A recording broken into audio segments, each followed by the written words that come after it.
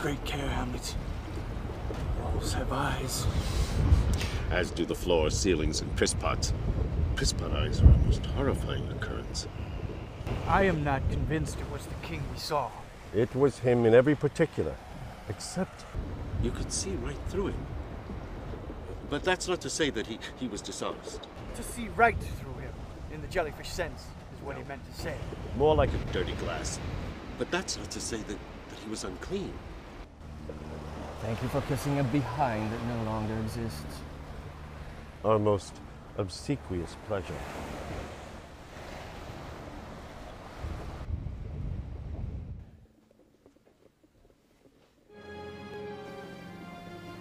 Hamlet is the demon seed of a man devoted to the calm arts. What if he inherited those gifts? Devotion to a woman's sensuous pleasure. The same. The engorgement of my every cell. Amuse me not. The creation of sweet music upon my most private parts. Would that your cursed loins were tone deaf.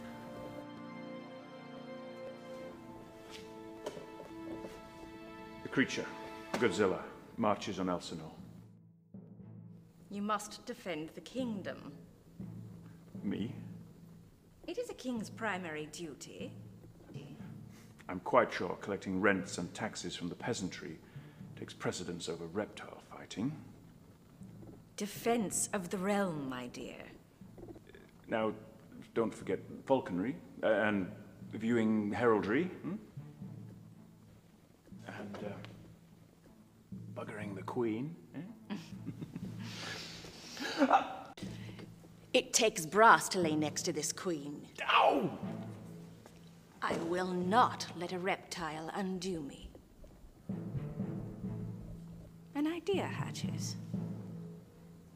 Here's to a suicide mission for my darling son. Hmm. I know a way to salve your grief. Avenge your father. Wake up and smell the myrrh, woman. I am not wrestling a dinosaur. I know your love of the theater. Face down that monster, and I will build you the grandest theater in all of Denmark. I'm listening. Let it be a chain of theaters. What if the creature put me face down? I will commission the writing of a play that will forever keep your name alive.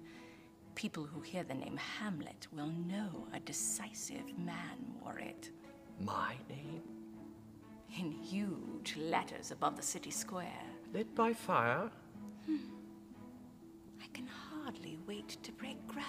Is